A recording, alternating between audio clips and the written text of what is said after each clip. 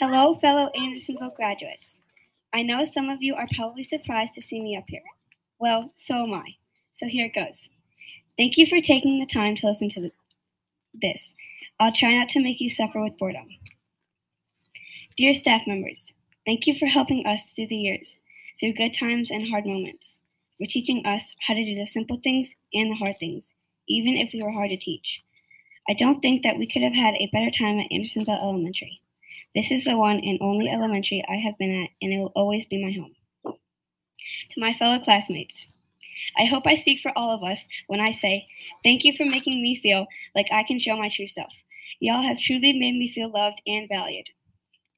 To the people who have been through me through thick and thin and through smiles and tears, thank you for always being here. Eagles, thank you for creating a culture here at AE where myself and all the other Eagles believe that everybody is somebody. Thank you.